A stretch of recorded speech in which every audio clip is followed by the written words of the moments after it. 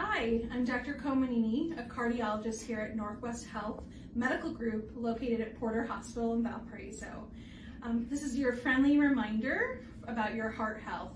I think our goals overall are to eat super nutritious food that's plant-centered, meaning fill your diet full of vegetables, fruits, legumes, which are beans, lentils, nuts, and really limit the animal processed foods that we all kind of tend to go towards, like fast foods, dairies, meats, even lean meats and fish. Your plate should really be full of vegetables and fruits, with those things sparingly on the side. Don't forget to exercise. The standard recommendation is 30 minutes a day, five times a week. And hey, if you're super motivated, do it every day. That'll take you to a long lifetime of great health.